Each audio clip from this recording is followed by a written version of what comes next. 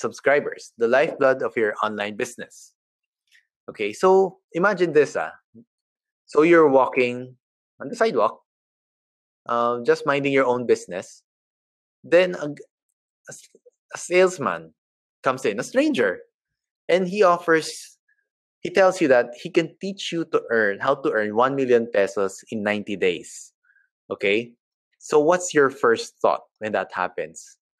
Can you type it in the chat box? Ano yung unang impression? What what would what comes in your mind? Hesitant, yeah, fortune. Scam, yeah, that's a popular answer. Same question. Same question. But the next guy, he offers you the same thing 1 million pesos in 90 days. He's going to teach you how to do it. You haven't met this guy before, you haven't interacted with him.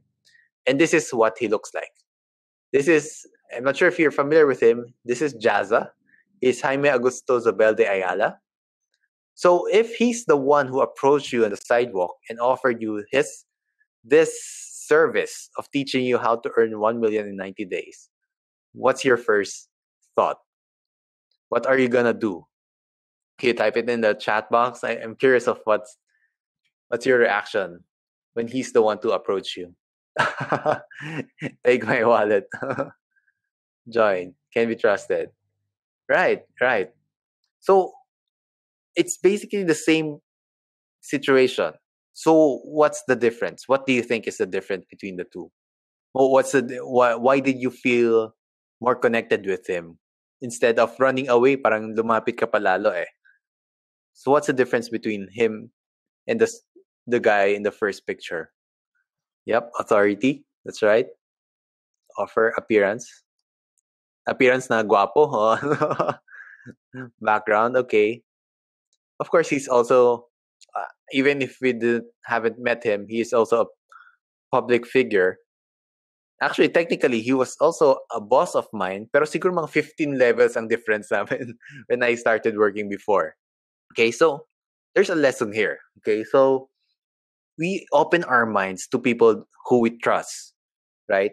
So I'm sure if your best friend recommended something to you, compared to someone who you just met, you'll probably listen to your best friend. Because you know that he has your best intentions in mind. So, let me ask you something now. I'm sure all of us have someone close, either a friend or a close cousin or siblings. How did that friendship or bond build? Diba? Um, what would you say is the important factor why you are close to that person. Sabihin natin yung best friend mo. What's the one thing that made you um, click? Could you type it in the chat box? So why do you trust this guy? Same interest, right? Right? Okay, so so same interest, I guess commonalities. But one more important thing, no, is that when we develop relationships, it takes two things it takes time and it also often takes a lot of touch points. Like, mahirap naman, sabihin natin, magkita kayo ng isang tao, then you hit it off. You, you talk the whole day, the whole night, then hindi na kayo nagkita ulit.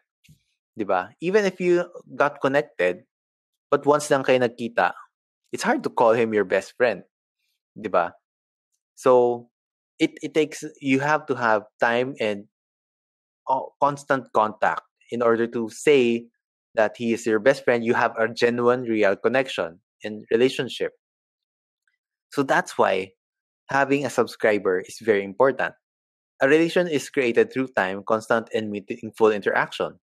So how do you do that with a blog? Kasi normally pag nagvi-visit ang tao sa isang blog unless you're an sabihin natin for me personally I often visit um, ESPN because I'm a sports fanatic right doon, lagi akong bumibisita. But there are some sites na once in a while ko lang pinupuntahan, but hindi ko alam how much I miss. Baka dami ko palang helpful na natutunan if if I knew what their content was. Diba? But I get don't get notified, di ba? Busy, busy ang mga tao eh. Di ba? We, we, we only think, there's so much we can think of. Right? So, how do we nurture a relationship online online na may ganon, may time, may relationship factor na we get in touch with them often and for a long time. So that's where email marketing comes in.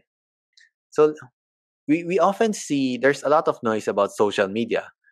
It's very important. Social media is very important, especially to get noticed, right? To get traffic, to get leads. But it's personally for me, I believe it's the starting point of a relationship. It could be that. But if you'll notice, social media maingay. Eh. Diba? There's a lot of new stuff, a lot of new stuff happening. Even sa newsfeed eh, just after a minute, may new stories na. Yun, sa tweets, sunod-sunod yung tweets. So it's hard to focus on one thing at a time. So I connect social media with a party, ba? Ang ingay, daming noise, 'di ba? People in a party parang they give the best version of themselves, 'di ba? Para mapansin. Parang ganun siya. But try having a real conversation sa party, 'di ba? Ang ingay-ingay eh, mag, you could barely hear each other. Siguro, pwede kayo mag-meet doon, but eventually you'll meet someplace someplace else to to get to know each other better. And that's where email comes in. Because email, ito naman equivalent of having coffee with someone. Know, being intimate, well, not romantic intimate, but, you know, parang kayong dalawa lang, you can build a connection. This is where real connection happens. Okay? So, and this is not something I made up. Email really gives the best ROI. Okay? So, let me show you some hard evidence of that. So here's an, here's an article from Entrepreneur Magazine, and it lists down, here you go, seven statistics that prove email marketing still works. So this is from Entrepreneur Magazine. So first, the email marketing offers a staggering return on investment. So according to Direct Marketing Association, it yields an estimated 4,300% ROI. So meaning, for every dollar spent on email marketing, you get $44 back. Now, this is extremely high. Ah. I haven't have that kind of ROI, but it is the most um, profitable means of communication for me, in my experience. Emails effortlessly, effortlessly nurture leads. This is what I was talking about. So, in constant contact over a prolonged period of time, it gives you, it builds rapport. Maybe not relationship per se, like a, in a with a person, but it builds rapport, rapport with someone. So you might be on an email list of another person. Then you often see his name.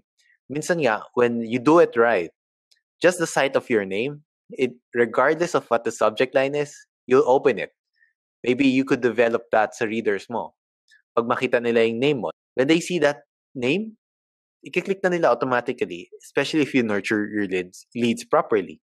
And you don't have to convince them by saying a lot of things in order to convince them to buy something that you recommend, enroll in your workshop, buy your book. So that's how the power of emails work. Okay, and I'll show you specific samples on how to do this later on. So email marketing is simple enough for DIY small business owners. It's very useful, um, high return of investment, and something that could easily be done by anyone, even a one man operation like mine. I do this part time even. And this is one of the best assets of a part timer who wants an automated business. Email marketing is the key.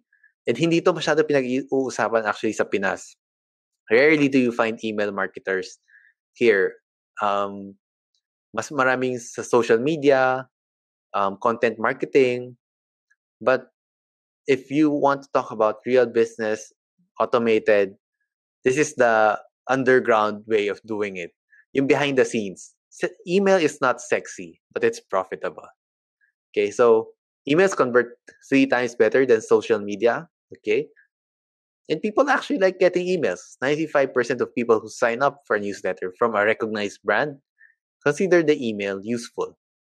Okay? So, ang goal natin here is to nakita natin stranger, di ba? In Mr. Jaza, Ayala Zobel, Ayala Zobel.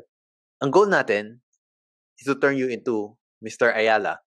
Okay? So not necessarily as handsome as he is or as rich, but to be trusted by your audience. Diba? That's our goal. I showed you how the approach of blogging is, diba? We we our blog should should solve our audience's problem so that we could build authority, trust, and relationship. And yun yung essential qualities qualities that we have. That's why kilala na, that Mr. Ayala has. That's why when we see him, trust agad, di ba? Tayo pa nga mahihiya sa kanya eh. Parang tayo pa mahihiya lumapit. Di ba? So that's the kind of status that we want to have. Okay? So how do we do this? How do we nurture the relationship? How do we convert them from viewers to subscribers and to ba- customers and eventually believers, diba? Um, ambassadors of our brand. So that's where lesson number four comes in.